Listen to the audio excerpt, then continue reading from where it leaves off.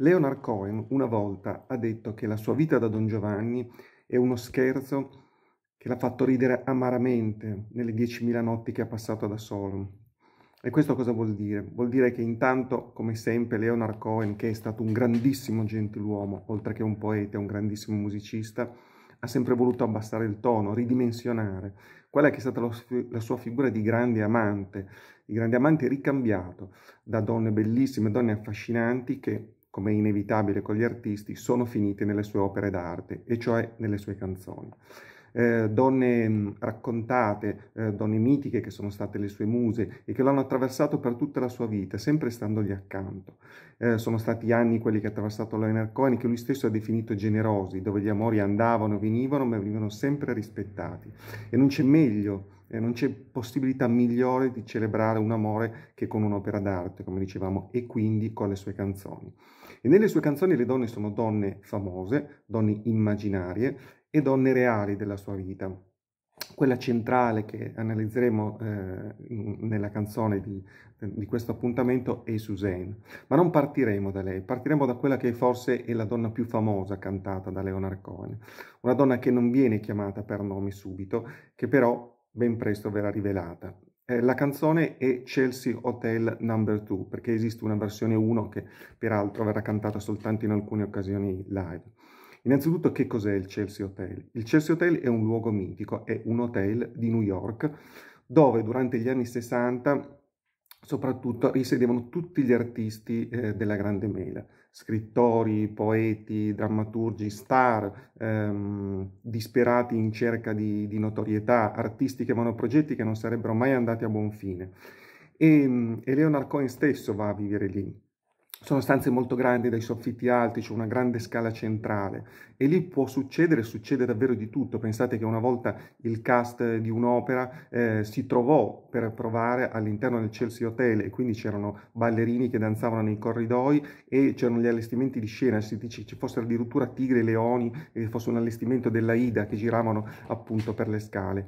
Lì Leonard Cohen ha una sua stanza, eh, una sua stanza spartana, lui ha sempre detto che non avrebbe avuto bisogno di molto nella vita, c'erano due letti e una chitarra e basta, e lui scriveva e componeva.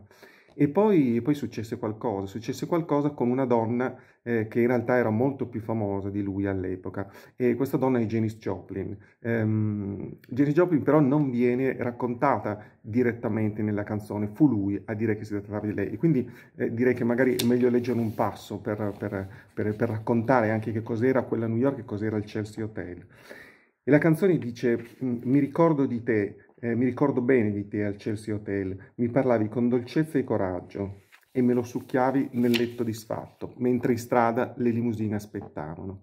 Poi dice ancora, ma sei andata via tesoro, non è così? Hai voltato le spalle alla folla, sei andata via, non ti ho mai sentito dire ho bisogno di te, non ho bisogno di te, o altre cretinate del genere. Mi ricordo bene di te al Chelsea Hotel, eri famosa e il tuo cuore era una leggenda.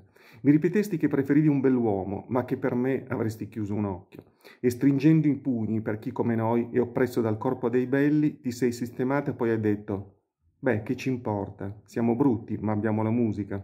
Ma sei andata via, tesoro, non è così? Hai gettato tutto alle ortiche. Sei andata via e non ti ho mai sentito dire ho bisogno di te, non ho bisogno di te. Non voglio suggerire che ti abbia amata più di altri, non posso tener conto di ogni passero accaduto, ma ti ricordo bene, ricordo bene di te il Chelsea Hotel. Tutto qui, non ti penso mai nemmeno troppo.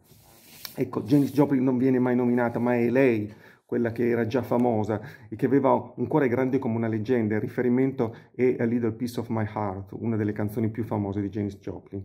E, e l'incontro con Janis Joplin come avviene? Avviene in un modo che poteva accadere solo al Chelsea Hotel. Cioè i due, Leonard Cohen e Janis Joplin, entrano in un ascensore e James Joplin lo guarda e dice, stavo cercando Chris Christopherson, all'epoca più bello ancora di Cohen e eh, musicista anche egli, nonché attore parzialmente. E gli dice, sei tu? E lui dice, sì, e Leonard Cohen anzi dice, sì, sono io. E lei sta un po' al gioco, lo guarda e gli dice, mi ricordavo fossi più alto. E lui dice, sì, non sono stato molto bene ultimamente. E poi i due accettano questo patto. Eh, Cohen dirà che lui stava cercando qualcuno come Brigitte Bardot e lei cercava Chris Christopherson. Però, appunto, come abbiamo detto prima, Cohen disse che quelli erano anni generosi e quindi finirono uno nelle braccia dell'altro per un processo che Cohen stesso definì per eliminazione. E passarono solo una notte insieme, una notte d'amore in quel luogo incredibile che era il Chelsea Hotel. Lei al mattina se ne andò e non si rividero più se non parzialmente per qualche occasione. Nessuno immaginò che la canzone fosse per Janis Joplin, però lui durante un live lo disse apertamente e disse per una morta, per una cantante morta e la canzone è per Janis Joplin. Però come abbiamo detto lui era un uomo discreto che aveva molta cura delle proprie donne e se ne pentì immediatamente. Anzi, in un'intervista disse che se, avesse, se, ci fosse un modo per chiedere scusa a un fantasma, lui vorrebbe conoscerlo, perché nel frattempo Janis Joplin era già morta. E poi da buon ebreo con un'educazione affidata a una solida madre ebrea disse anche che sua madre Masha si sarebbe molto arrabbiata per una rivalizione del genere, eh, perché nessuno dovrebbe parlare delle proprie amanti in modo così aperto o rivelarne il nome. La canzone è una canzone che è stata, um, ehm, è stata, composta in due luoghi leggendari, tutto ciò che ha a che fare con, con, Leonard Cohen in qualche modo è leggendario ed è letteratura. Nasce in un bar polinesiano a Miami e finisce ad Asmara, poco prima che, eh, che cada eh, il trono del reggente dell'epoca. Luoghi mitici, luoghi leggendari. E, um, questa canzone diventa un grande classico e Janis Joplin, la grande Janis Joplin, entra nel racconto delle donne eh, di Leonard Cohen. Poi ce ne sono altre, come abbiamo detto, meno famose e altre probabilmente che sono invece immaginarie. Una immaginaria è Jane. Chi è Jane? Jane è la protagonista, anzi una dei tre protagonisti, perché si parla di un vero e proprio triangolo amoroso, della canzone Famous Blue Raincoat, no? il famoso impermeabile azzurro, che è un, dire, un, oggetto iconico della persona alla quale Leonard Cohen si rivolge in questa canzone. Mm. E chi è? È qualcuno con cui sua moglie lo ha tradito. Cioè un triangolo. Leonard Cohen disse succedeva spesso, poteva capitare. Anzi, molto spesso non mi ricordo nemmeno eh, se io fossi il traditore, se fossi chi aveva tradito, se ci fossero davvero questi triangoli, o se raccontassi di fantasmi, di qualcosa che non era accaduto, però so che c'è stato e mi ha segnato.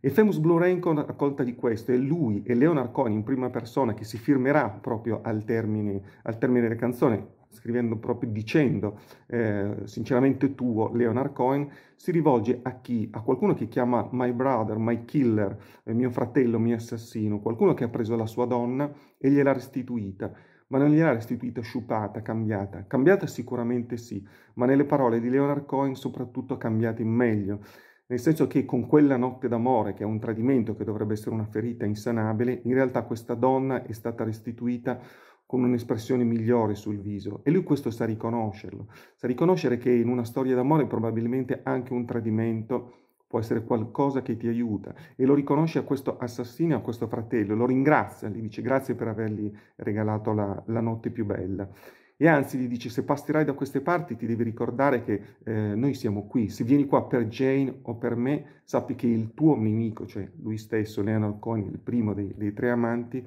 eh, starà riposando e la sua donna è libera. Quindi questo è un grande profumo, un grande racconto di quegli anni e Jane, eh, Jane ripetiamo, nella donna, la musa di questo triangolo, non è affatto sciupata, ma, ma è lei che, che, che, in realtà al centro rivitalizza questo, questo, questo amore differente. E, ehm, è una canzone questa che è stata tradotta in Italia magistralmente, come è capitato con altre canzoni di Leonard Cohen, da Fabrizio De André. Fabrizio De André nel 1980 eh, la traduce volgendola al femminile per Ornella Vanoni. Eh, Ornella Vanoni la, incette, la, la, la, registra, la incide in Ricetta di donna, dove ci sono altre cover, tra cui una di Paolo Conte.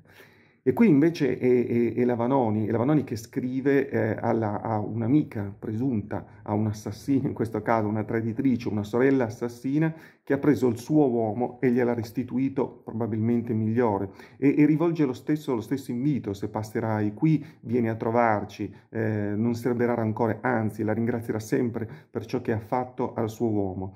Eh, non è più New York o il luogo dove era ambientata eh, Famous Blue Record, ma qui è Milano. E non ci potrebbe essere uno scenario migliore perché è la Milano dei grandi tradimenti degli anni 70, la Milano borghese che poteva, che poteva permettersi qualcosa di genere, del genere. Allora è bello immaginare eh, De André e la Vanoni che passano per quei viali meravigliosi e così borghesi di Milano, so, quei palazzi che di notte sono illuminati da luce gialla, da quella borghesia raccontata soprattutto nel cinema che sembrava vagamente annoiata ma forse riusciva eh, a dare un peso maggiore a quel tipo di tradimenti tradimenti, o forse non di tradimenti, a quel tipo di amore diverso. Eh, sapeva semplicemente che quella consapevolezza borghese, che, che il corpo probabilmente non è nient'altro che un involucro di possessi perduti, è una cosa da grande borghesia e la canzone lo racconta in maniera, in maniera esemplare. Poi ci sono altre donne, ci sono donne eh, che, che, che, sono spettri veri e propri. C'è una canzone bellissima di Leonora Cohen che si chiama Is This What You Wanted? Cioè, è questo quello che vuoi? E, e, e, viene messo in contraltare con proprio la donna che è al centro della canzone. E le dice molto semplicemente, è questo che tu vuoi? Vuoi vivere in una casa che sia infestata dallo spettro di noi due? Cioè da un amore che è cambiato, che non potrà mai essere più tale e allora che cosa bisogna fare? Bisogna lasciarsi, eh, bisogna, eh, bisogna, essere differenti. Eh, non lo racconta, ma riesce a scavare sempre con una capacità che solo Leonard Cohen ha, perché soppesa qualsiasi parola. Anzi, Leonard Cohen una volta disse che lui avrebbe voluto esprimersi soltanto con una parola, che tutto quello che c'era tra l'inizio e la fine di una frase probabilmente era superfluo e lo spaventava. E questo è chiaramente fortissimo, è una cosa che ha a che fare moltissimo con la poesia con la poesia che è la poesia che in realtà diede origine alla canzone centrale del nostro racconto di questa sera, che è Suzanne. Però prima di parlare di quella Suzanne, eh, parliamo di un'altra Suzanne, che è Suzanne Elrod.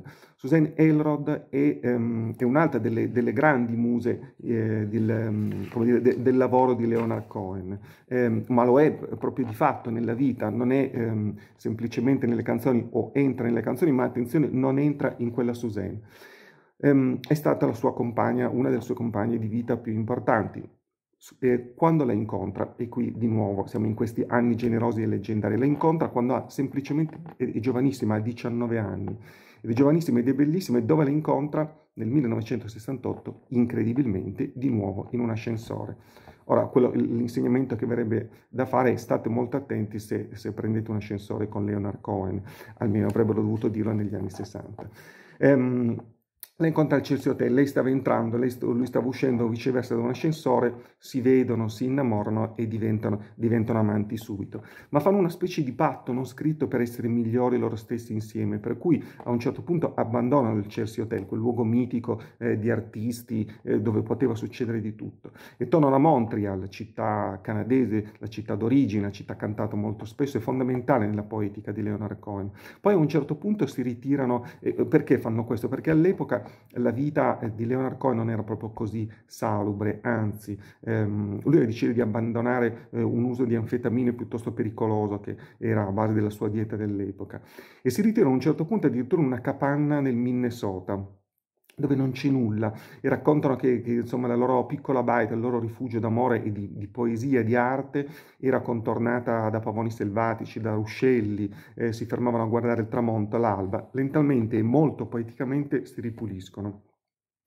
E, e, poi viaggiano, viaggiano e si muovono come sempre aveva fatto Leonardo Coni che in tutta la sua vita è andato e tornato dal suo eh, ritiro eh, migliore, quello dell'isola di Idra in Grecia. Eh, hanno due figli, hanno due figli, il primo figlio maschio Adam eh, che riceverà a 44 anni il compito incredibile di produrre lui, quello che sarà poi l'ultimo disco di Leonard Cohen, You Want It Darker, anche lui, anche lui Adam musicista, e una figlia, è una figlia che si chiama Lorca in omaggio al, al poeta spagnolo. Ehm, Lorca, fra l'altro, di, eh, diverrà la, la, madre surrogata di Rufus Wainwright, altro musicista e cantante fondamentale dei nostri anni, appartenente anche lui a una famiglia reale di musicisti, cioè i Wainwright e i McGarrigle.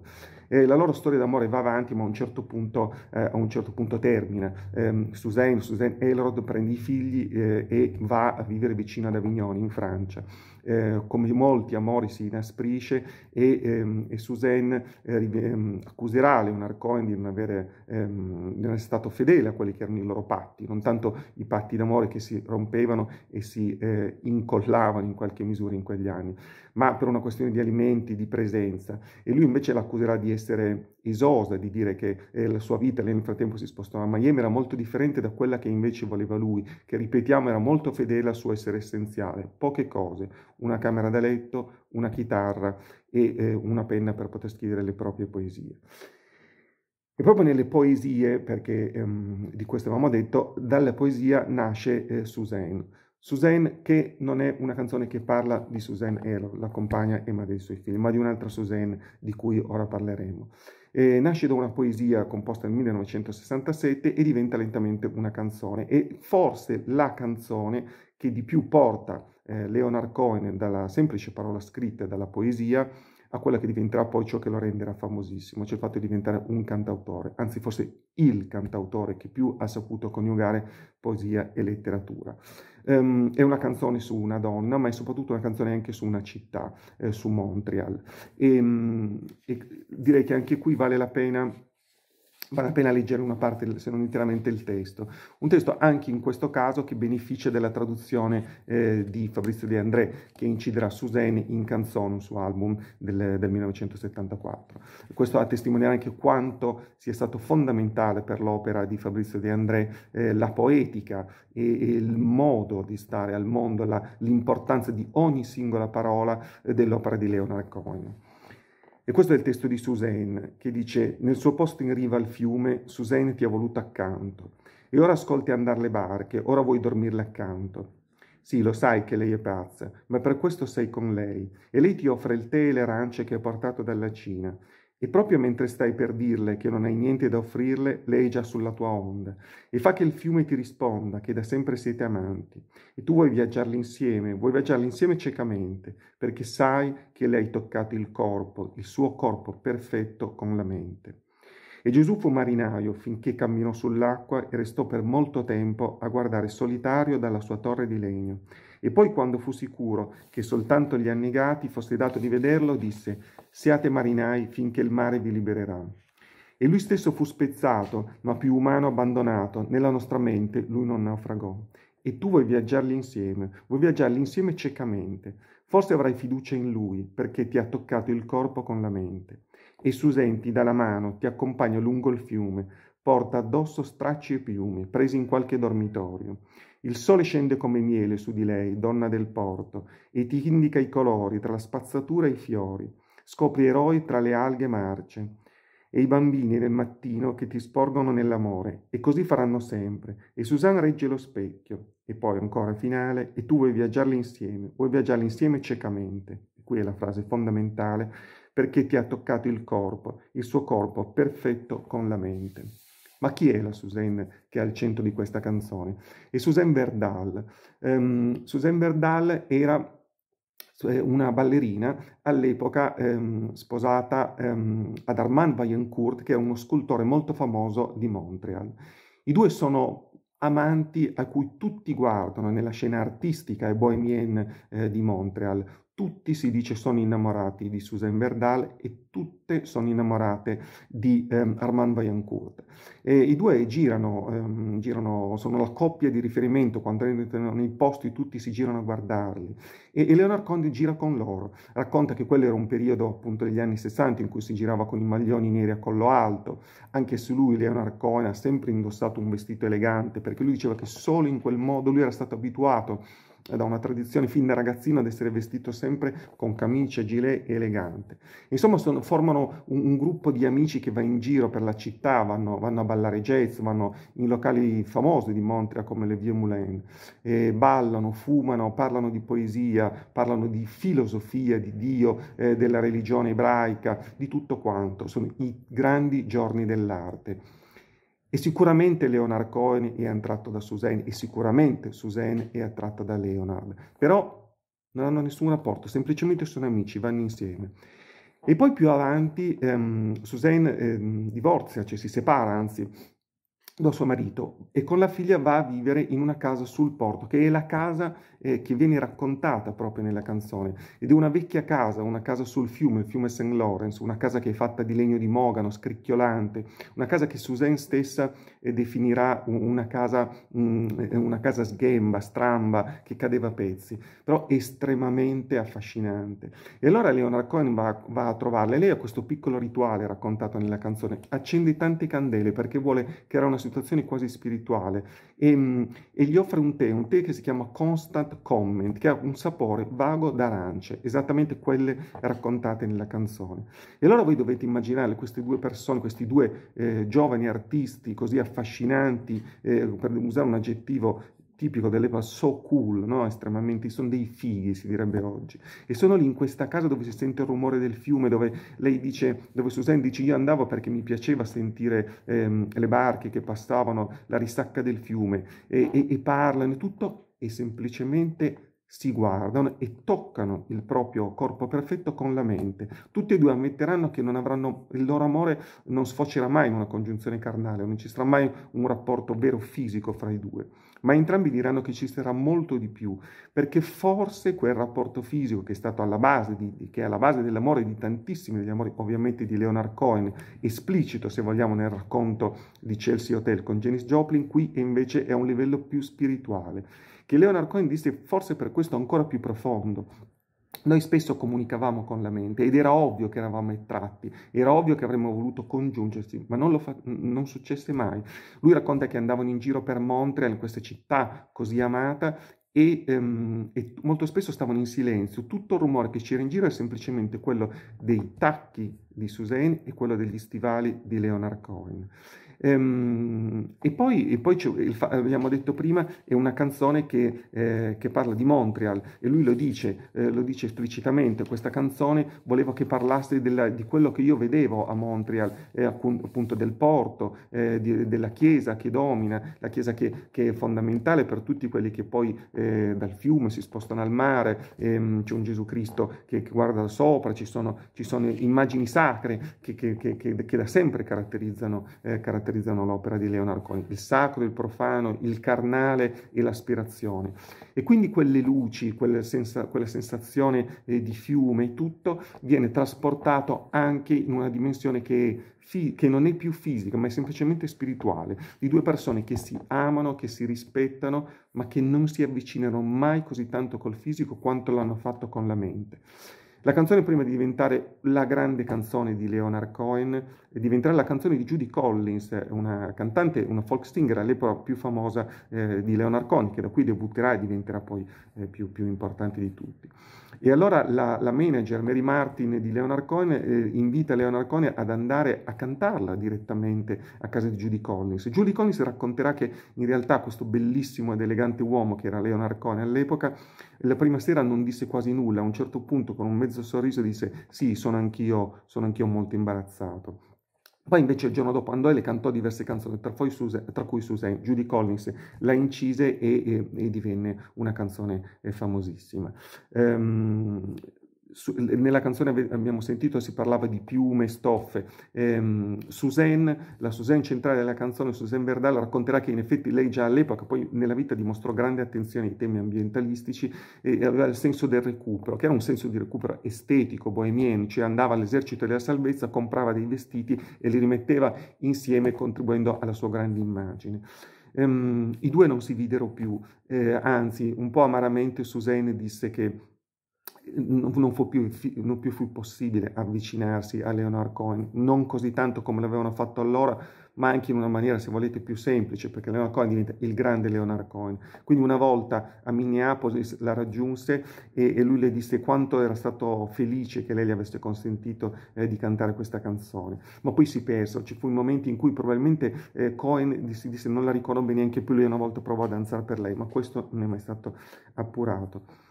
C'è una piccola storia anche incredibile dietro questa canzone, cioè, eh, perse immediatamente i diritti eh, Leonard Cohen all'epoca, fu, um, fu, letteralmente fregato da una delle persone che gli stavano intorno, eh, Chase, un tipo che gli fece firmare un foglio subito dopo dicendogli guarda è solo una cessione temporanea dei diritti, mentre invece fu una cessione definitiva. Ma lui firmò, Leonard Cohen firmò e da quel momento realizzò che non aveva diritti su quella canzone e in una certa misura disse che andava anche bene così perché quella canzone era talmente intima. Poi anni dopo cercò di riacquisirli, si trovò con Chase in una stanza e Chase ebbe la, la faccia tosta di chiedergli quanto mi offri per questa canzone. E Leonard Cohen, quell'uomo così distinto e impeccabile, disse ti offro un dollaro, figlio di puttana. E allora Chase abbandonò la stanza, ma poi più tardi, nel, mille, nel 1987, i due poi, poi si, si, rimisero a posto. Si rimisero a posto in, diciamo, l'aspetto se vogliamo, più fiscale della faccenda e, mm, e Cohen li acquisì. E, mm, e questa è, è, è, la storia di Suzanne, una delle grandi, della storia delle, delle donne eh, della, della, della, sua poetica. E prima di, di, di chiudere, salutarvi, ci, vorrei citare una delle ultime, che ehm, è una delle sue canzoni, se vogliamo, più belle, che è So Long Marian. E chi è Marian? Marian, Marian eccola qua, la vedete in questa copertina, di questa bellissima eh, modella eh, norvegese, che rappresenta forse la musa di, di, Leonard Cohen, con cui passò un sacco di tempo nell'isola di Hydra, Il Ritiro, è uscito un, um, un film bellissimo si chiama Marianne Leon and Leonard Words of Love, e con Marianne, evocata nelle sue canzoni, che, che, era la sua musa ispiratrice quando si svegliavano a Hydra, in questa eh, bellissima isola dove non c'era neanche la luce elettrica, e, e, e, la sera si potevano vedere solo le candele, quelle candele di cui abbiamo parlato anche in Suzanne, ecco lei è stata la sua musa ispiratrice per tempo, ma gli amori andavano, finivano soprattutto in quest'isola incredibile, piena di artisti, dove ci si abbandonava e ci si riuniva eh, con, come fosse un colpo, un colpo d'ali. Però perché la citiamo? Perché alla fin fine, quando Leonard Cohen fa i conti con la propria vita, fa i conti anche con Marianne, che, con eh, che aveva lasciato un amore terminato, però verso la fine eh, Jean-Christian Mollestad, che è un, eh, anch'esso un artista amico eh, di Marianne, capisce che Marianne sta per morire. E allora eh, si mette in contatto con Leonard Cohen per, per, per dirglielo. E Leonard Cohen manda una, manda una, lettera, le scrive una mail dicendo ehm, io e te, i nostri corpi ormai sono, sono andati, siamo vecchi e io mi sento così vicino a te che se allungasti la mano qua dove sono potrei toccare la tua. E ti ringrazio per tutto, sei stato un amore, spero che ci rivedremo, ci rivedremo lungo la strada strada. E Marianne ricevette queste, queste, parole che si dice siano state anche edulcorate rispetto alla versione originale di, di Cohen, ma sono questo, sono questo un, commiato, eh, un commiato fra due grandi amanti, un commiato anche a dei grandi tempi perduti. Marianne perse conoscenza ehm, eh, poco dopo aver ricevuto le parole di Cohen e chiese soltanto di sentire Bird on a Wire, una canzone contenuta nell'album eh, di Cohen di cui lei fu musa ispiratrice, e poi perse conoscenza, quello stesso e morì. Quello stesso anno, nel 2016, il 7 novembre, morì anche Leonard Cohen, che quindi raggiunse Marianne e tutte le grandi eh, donne che sono state grandi amori della sua vita. E quindi siamo al termine di questo racconto. Nessuno di tutte, di tutte le persone che abbiamo citato eh, è più presente, nessuno è più con noi. Però molto banalmente, ma in maniera estremamente forte, eh, ci sono le canzoni, c'è il racconto epico e meraviglioso e letterario di ciò che sono stati, del segno che hanno lasciato la vita. E, ehm, e forse alla fin fine eh, la cosa più importante, l'unica cosa che ci sopravvive è l'arte. E, e l'arte di Leonard Cohen è sopraffina e tra le migliori che quegli anni meravigliosi che sono stati gli anni del rock e del cantautorato elegante ci possono restituire.